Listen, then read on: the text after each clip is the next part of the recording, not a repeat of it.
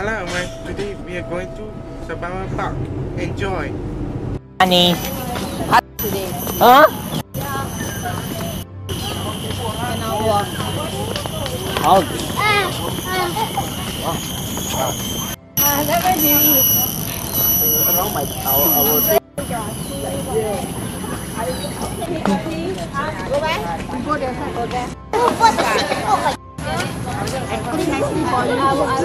like this. Uh,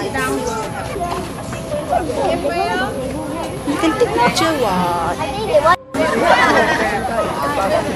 Ah, grandpa, come put your bag here. Here, here, here, here, here, here. Sofian, Sofian, Sofian, Sophia and eh? Yes. To add. Just You want to go where? Có tay ra đây anh. Where is Eva? It's for me also. Ayah, Eva. What is that to say? Okay, take me and give some.